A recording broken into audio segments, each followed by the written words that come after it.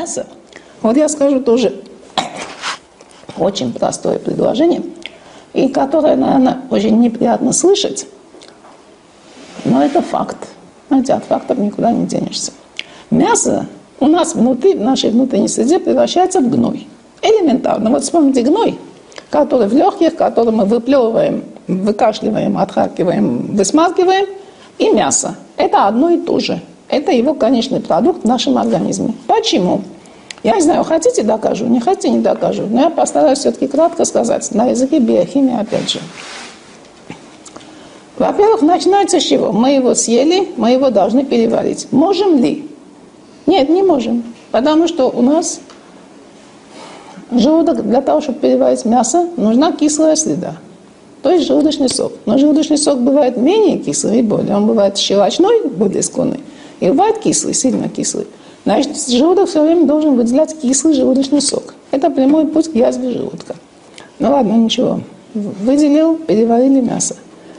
А что там должно быть? Пепсин. Пепсин, знаете, это его добавляют в молоко, чтобы сделать сыр, да? Телячий пепсин из телячьего желудка. Но у нас он тоже есть. Без него никак никуда. Первая ступень пищеварения мяса – это расщепление его пепсином в кислой среде. В щелочной среде это никак невозможно сделать. В кислой среде пепсин должен работать. Во-первых, не всегда достаточно кислая среда у нас в желудке. У людей с пониженной кислотностью она будет достаточно? Нет. И так далее, и так далее. Но если даже она достаточно кислая, и пепсин довольно хорошо вырабатывается, и мясо переваривается, оно переваривается все равно не полностью. В общем, в желудке оно... Что такое мясо? Мясо – это белок. Мы сами состоим из белка. Вот это вы запомните, что мы из мяса. Кости – это пусть не мясо, но кости, но состав – это тот же, это белок, это коллаген. Кости, хрящи – это коллаген, волосы, ногти тоже, сосуды, сосудистые стенки. Все остальное – это уже другой белок, мышечный белок и так далее. Их несколько разновидностей белка. Но остается все время белок, белком. Теперь смотрите, что такое белковая молекула? Белковая молекула – это она глобула, она голографична – это вот называется четвертичная структура, то, что я нарисовала, шар. Она должна обязательно расщепиться и дать нам олигопептиды. В желудке это должно быть. Олигопептиды, что значит? Это значит маленькие пептиды. А что значит пептид? Это цепочка аминокислот. Слово аминокислота знаете? Вот аминокислота. Вот напишу аминокислота. Вы тоже пишите, не ленитесь писать. Потому что кому это надо? Надо врачам про аминокислоты? Не надо. Им надо про лекарства. Кислота. А что такое аминокислота? Это кирпичик белковой молекулы. То есть та единица, из которой кирпичик молекулы белка.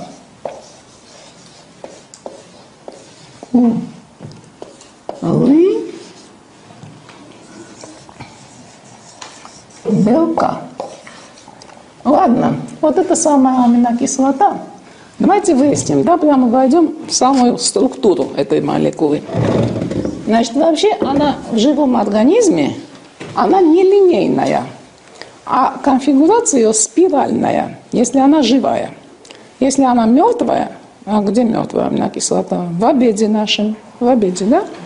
то она цепочка. Ну, как змея, да? Змея, когда мертвая бывает, она вытягивается, да? А когда у Крылова есть басня про медведя и змея. Вот медведю не нравилось, что змея все время извивалась. Он говорит, чего ты извиваешься, извиваешься, извиваешься. На он взял ее, трахнул камнем по голове. Все. Она вытянулась в струнку. Вот говорит, будь такой всегда прямой, а не будь такой прямой. Вот это прямая, мертвая структура аминокислоты. Но если она живая, я вам говорю, она спиралевидная. Теперь дальше. Аминокислоты, спирали аминокислот, как они синтезируют белковую молекулу? Для того, чтобы синтезировать, нужна матрица, образец какой-то. Вот эта матрица называется ДНК. дезоксирибонуклеиновая кислота. Ну, что такое биохимически вам сложно понять и не нужно. Но, в общем, есть такая вещь, ДНК тоже вам знакомая вещь, это матрица. Для, на, это на ней имеет тоже спираль, двойная спираль такая. Но на ней вот благодаря определенному сочетанию здесь молекул, она, на ней производится сборка аминокислот соответствующих. Как и что мы не знаем. Это знает природа, это знает разум, это знает Бог, который вот нас создал, и вот таким образом он синтезирует. Здесь имеет место сборка, вот нанизываются эти аминокислоты, только спиральные. Прямые они не годятся здесь, они отбрасываются. Они должны нанизаться, вот эти спиральки, спиральки, спиральки, и дальше они будут скручиваться уже.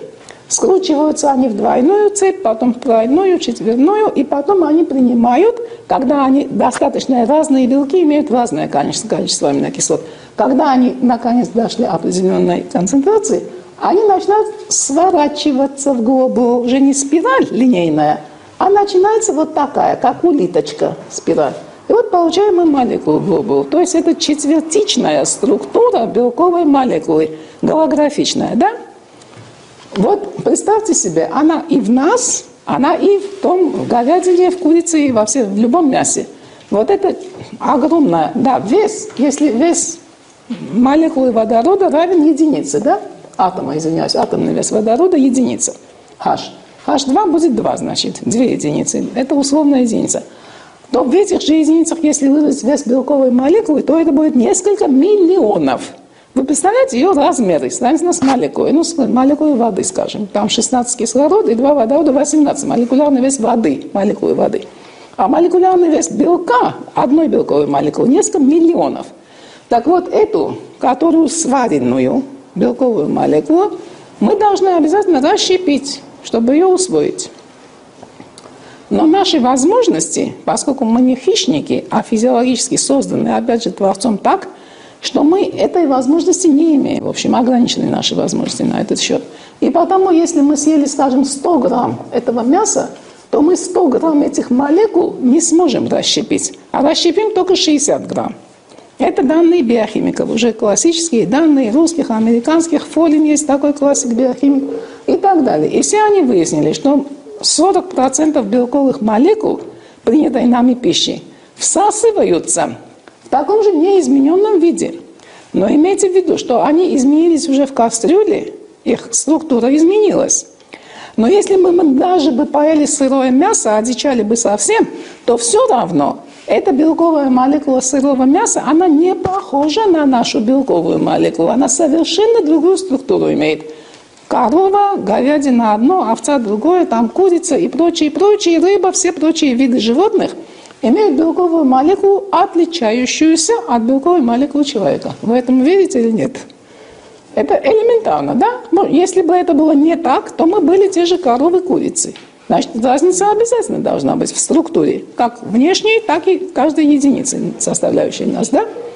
Так вот, а если это так, если у нас мы съели, приняли внутрь в общем, или же, не дай бог, вкололи в вену, что бывает при переливании крови, не той группы, не одногруппной крови, даже человеческую кровь же переливают от человека к человеку. Но если вдруг ошиблись и не одногруппную, то есть кровь другой группы, то там тоже молекулы имеют другую структуру. И они, начинается иммунный конфликт, и может смерть наступить. И как, что за иммунный конфликт, расскажу. Теперь так, мы поели вареное или даже сырое мясо, одичали совсем, но хотя вон на севере едят же люди, куда деваться в этих зонах заполярных. Вот. И это называется чужеродный животный белок. Теперь во всех учебниках биохимии, это классика. Хотя не знаю сейчас, какие они, я давно не заглядывал в современные учебники, но в свое время мы, в свое время мы проходили такой классический учебник с Барского был – что такое? Это мы едим чужеродный животный белок. Мясо это иначе не назовешь. Раз он чужеродный, то он, значит, не родной нам. А если он нам не родной, мы его не потерпим. Вот так же мы не потерпим чужака, который пришел, вторгся на нашу территорию и хочет разрушать наши дома и нас убивать. Мы как-то его ликвидируем, выгоним, убьем, что-то сделаем. Так это не просто она чужеродная, не похожая. Она еще стремится разрушить наши молекулы, потому что она чужеродная. Это ей не нравится наша структура, а нашей не нравится она.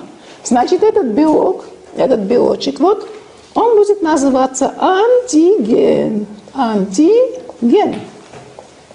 Анти. Что-то он ген, ген, то есть он создает, генерирует что-то на себя анти. А что он может антигенерировать? Он генерирует антитела. Слышали такое слово? Слыхали. Значит, иммунная система быстренько сообразила, причем мы съели не одну молекулу, мы съели 100 грамм. А иногда мы съедаем и 400 грамм за один присест. А если мы в день несколько раз съедаем эти граммы, получается килограмм. Представьте, вот мы съели столько вот этого чужеродного животного белка. Из него, ну, в среднем возьмем полкило, скажем. 40% это 250, немножко меньше, да, 230 грамм пусть будет.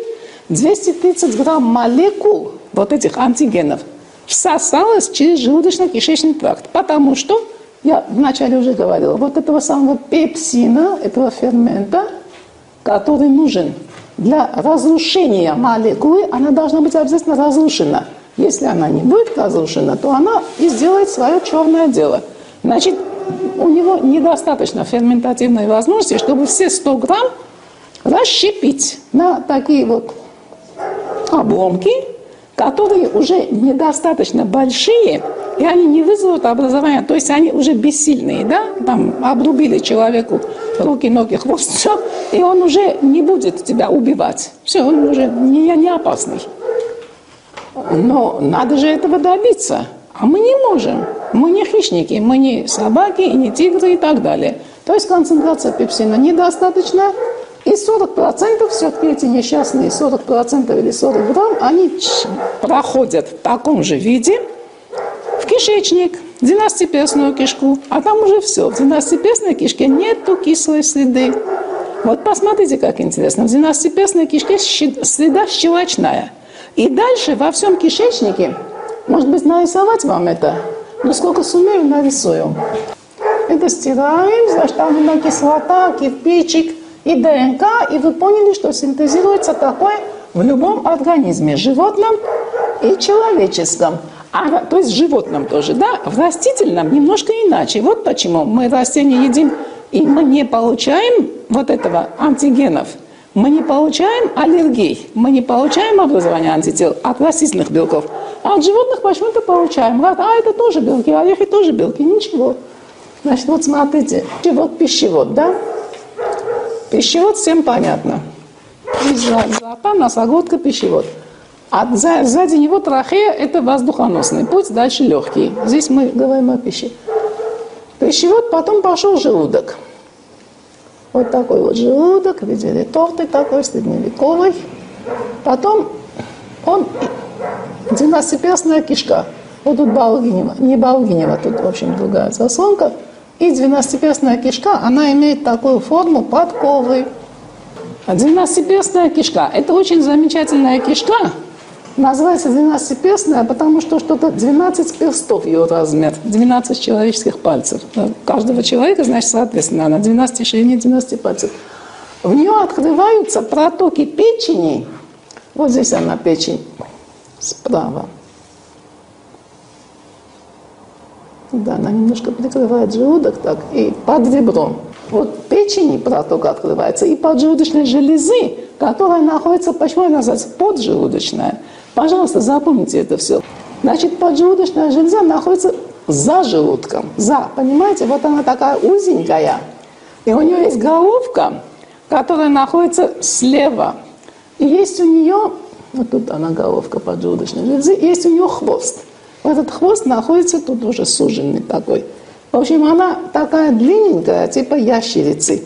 Но она очень легкая, и она такая вот Э, ячеистая. Ячеистая, такая легенькая ткань она. Весит она всего 70 грамм у взрослого человека.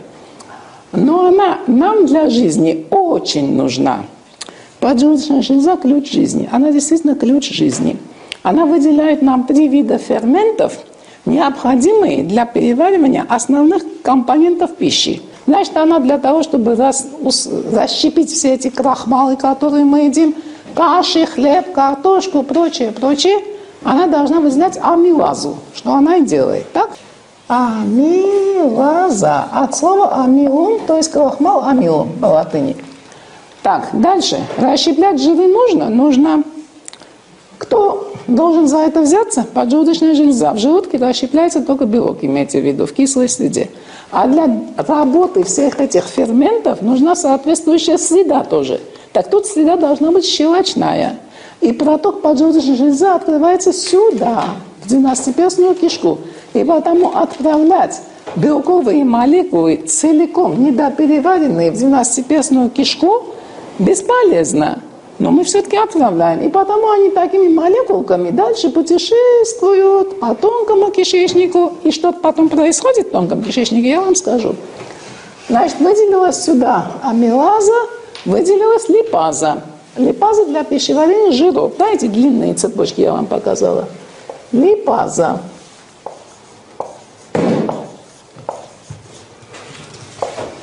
Еще белки надо переварить. Да, переварить надо то, что расщепилось. То, что не расщепилось, не переварится, я уже сказала. Белковая молекула, так я... Но олигопептиды, вот эти, ее обломки, надо дальше довести до аминокислот. Иначе они нам не годятся. Нам же нужны кирпичики, чтобы получить собственную молекулу. А из обломков мы не получим ее. Ладно, значит, третий белок, третий фермент для расщепления белка – это трипсин. Трипсин. Я сейчас точно не скажу, сколько трипсина, это кристаллический фермент, когда он получается, да, из свиной обычно получается трипсин, из поджелудочной. Но сколько в сутки выделяется у нас, я точно не знаю, но некоторое количество граммов. Для того, чтобы, в общем, синтезировать этот трипсин, нужен огромный завод. Огромный завод нужен, химический. А у нас вот малюсенькая поджелудочная железа 70 грамм – она синтезирует этот трипсин. Сколько вам надо? Съели килограмм мяса, значит на килограмм. Два съели два. Но если мы сильно злоупотребляем этим процессом, едим, едим, едим, ну, каждый день шашлык и так далее, есть такие люди, так и ростбиф, бифштекс и так далее. Кстати, это и в Англии очень приняты, вот эти бифштексы и прочие, да, и шашлыки сейчас везде приняты. Ладно, пусть не каждый день, пусть неделю раз, и того хватит. Что происходит? Дорогие, вы понимаете, жуткие вещи происходят. Поджелудочная железа, ведь понимаете, все в организме разумно. И каждый орган, и каждая клетка разумна. Значит, мы ее заставляем работать. Она работает, работает. В конце концов, терпение у нее уже кончается. А если так, она выделит вам столько трипсина, выкинет, что пойдет самопереваривание головки, некроз. Вот некроз поджелудочной железы – это вам смертельное явление. Все болезни поджелудочной железы связаны напрямую с пищей. Я же вам должна нарисовать еще тонкий кишечник, чтобы вы понимали, куда все это девается потом. И толстый. Так вот, тонкий кишечник, он так извивается вокруг пупка змеей. Вот так идет, идет, идет,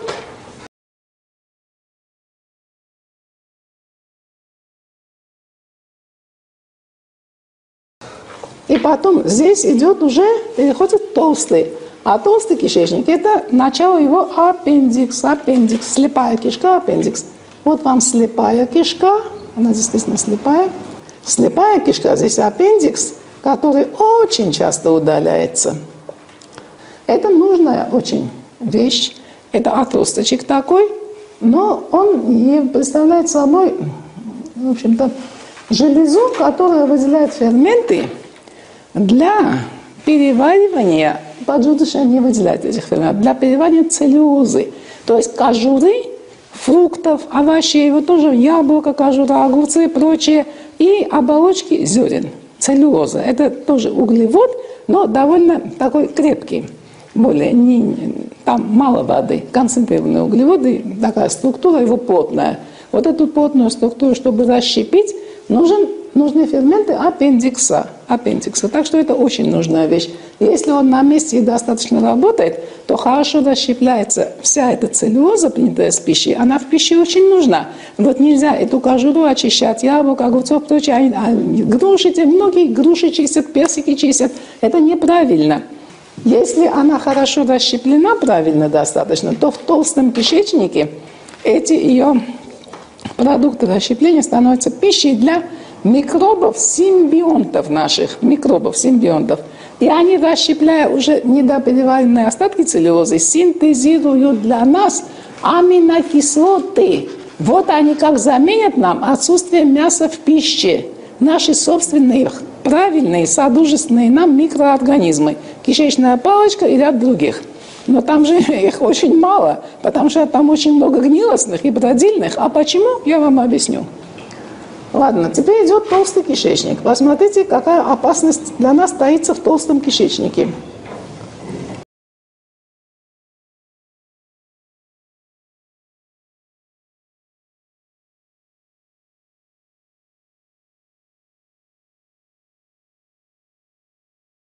Амины в основном моноамины, в основном они ядовитые для организма. Они просто разрушают наши ткани. Это яды, это эндогенные яды. яды. Вот эти амины, моноамины, то есть один амин, они не цепочка амины, они такие же, они активные, потому что они маленькие. Значит, если из гноя он получился, то он будет называться путресцин. А есть еще кадаверин, это еще прелестнее. Если я вам переведу это слово, вам станет противно, но придется перевести, потому что он у нас образуется – Кадавер по латыни, по латыни труп. Значит, кадаверин – это не что иное, как трупный яд. Это натуральный трупный яд, кадаверин. Однако вы знаете, сколько у нас его в организме? Достаточно. У тех, кто мясо не ест, его мало, но он есть все-таки. Почему скажу? Теперь, почему трупный яд должен быть в живом человеке? Потому что этот человек ест трупный материал, то есть мясо. Мясо гниет. Оно это мертвый труп все равно, как ни назови. Даже если он сырой, все равно. Мясо гниет. Я уже вам доказала, что оно гниет, не переварится до конца. Я, я еще не сказала про всасывание этих молекул. Но практически сказала, что они всосались, получили антигены, а, а, на антиген антитела, то есть мы получили аллергию. Вот это уже патология. Это то, что вам сегодня надо, ваш хлеб насущный. Аллергия, аллергия. У ребенка аллергия – Почему аллергия? Потому что антиген – это не мед, не цитрусовый, не морковь и не земляника, которую запрещают кушать бедным этим больным детям. И даже беременным женщинам, чтобы у ребенка не было аллергии. Аллерген единственный, аллерген, антиген – это мясо, мясная пища. Что мы получили? Мы получили то, что откуда? Откуда кадаверин? Сказали, из мяса, так?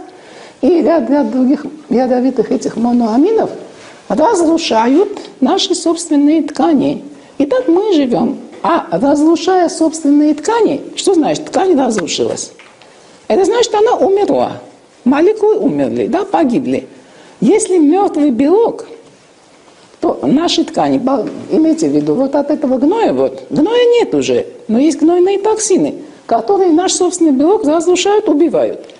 Эти погибшие белковые ткани, их много-много-много-много, они превращаются в гной и тоже копятся. Так этот, вот этот вот самый кадавейный путесцин, они проникают всюду, кровью разносятся всюду. Костный мозг тоже снабжается той же кровью. Теперь вы знаете, что кровь синтезируется в костном мозге. Если не знаете, то знайте – Кровь синтезируется в костном мозге. Трубчатых костей, длинных трубчатых костей, то есть руки, ноги, ну и грудина. Вот. И еще эритроциты печень синтезирует, а также селезенка. Она их и разрушает, и синтезирует немножко, и печень тоже. Так вот, а лейкоциты, именно лейкоциты, то, что лейкоз дает, лимфоциты и прочие, они именно синтезируются в костном мозге. Поняли? Вы знаете, что такое костный мозг? Вы, наверное, его ели такой вкусненький. Вот жир прямо весь. Так вот в нем проникают туда вот эти вот токсины, И что они там сделают? Этот костный мозг, который для нас синтезирует кровь, они его губят. Они превращают там его в гнойничок. Один, другой, третий, в конце концов, терпение, так сказать, иссякает нашего организма. И он нашей иммунной системы. А иммунная система – это наша соединительная ткань. То есть вся, кроме там, мышцы, нервы и мозг, все остальное – это соединительная ткань, это иммунная система. И железистые органы, кстати, они тоже не соединительная ткань. Вот та же печень, поджелудочная и прочее – это железы, да? А все остальное соединительная ткань. Кровь и прочие, кровотворные органы, кости, волосы. Так вот, она начинает реагировать. Так невозможно терпеть гнойники. В организме гной терпеть никто невозможно это. Вы же потерпите у себя в комнате гной. Не потерпите, значит, его надо уничтожить. А как уничтожить? Иначе организм не может. Он должен создать клетки, которые его съедят. Вот они создают эти клетки. А эти клетки называются лейкоциты, лимфоциты, бактериофаги, там, макрофаги, фагоциты и прочее, прочее. Но вот эти лейкоциты, лимфоциты, они, значит, должны, выхода нету, синтезироваться в огромном количестве. Ну и синтезируются, выбрасываются в кровь, ясно, в периферическую кровь. Мы берем анализ, смотрим, а ну а что делать? Смотрите, костный мозг – безобразное действие. Очень слишком количество лейкоцитов невозможное. Такое действие надо прекратить. Надо усмирить иммунную систему. Надо просто кнутом ее, или как хотите. Но надо это дело прекратить. Надо, конечно, то гибельно. Ведь убивает же не лейкоциты убивают, убивает гной. А медицина почему-то не может это понять. Значит, мы дадим препарат, который остановит синтез лейкоцитов и лимфоцитов. Вы понимаете, что творится?